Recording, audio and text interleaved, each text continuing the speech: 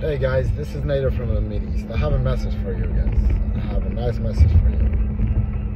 Here's uh, what's going on. You know, like every year, some people are gonna take advantage of the holidays and they're gonna get you all excited and they're gonna talk about things doesn't exist. And they're gonna tell you tomorrow, and they're gonna tell you the day later, and they're gonna tell you, you know, it's gonna happen in Thanksgiving and over in Iraq, we don't know Thanksgiving. We don't we don't celebrate Thanksgiving, so we don't know what it is.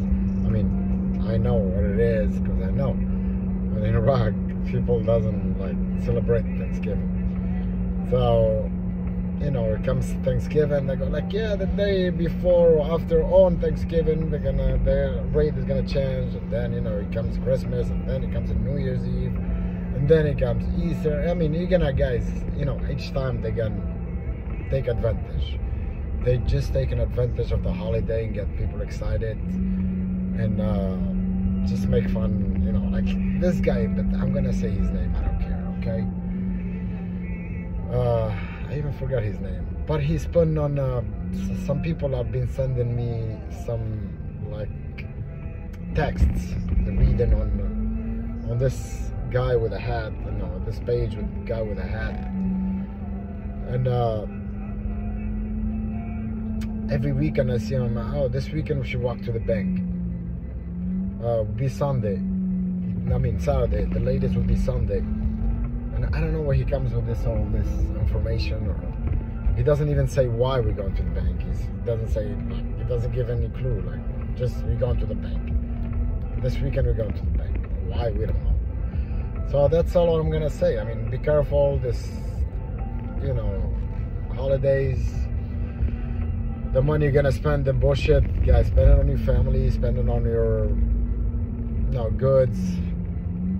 And that's it. Otherwise, it's not other news for now. You know, we're waiting. Listen, we're gonna wait. They said the rent. I mean, not. It's not the government who said that. Nothing. It's people from YouTube. They keep saying the exchange rate. It's in the budget. All right. Me, I said that I don't think it's in the budget because the budget have nothing to do with the rate. You know, have nothing to do with the rate. So let's see what's going on. Maybe I'm wrong. I hope I'm wrong. I, you know, I, I hope I'm wrong, but I don't think I'm wrong. Don't be surprised if it's the, the, the rate, the rate, the exchange rate is not in budgets.